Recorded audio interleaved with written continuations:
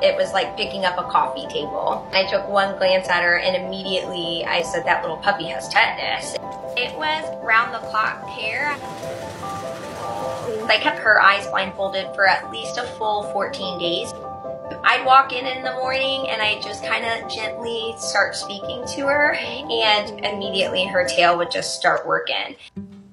So I was trying to do everything that I could, just kind of keep range of motion up. Are you outside for the first time? Oh, turn it. That's a good job. That's a good step. I came home from work. My husband put her down on the grass and she just took off after me. And I just fell in the grass with her. And it was the first time I did let myself cry, but it was a good cry.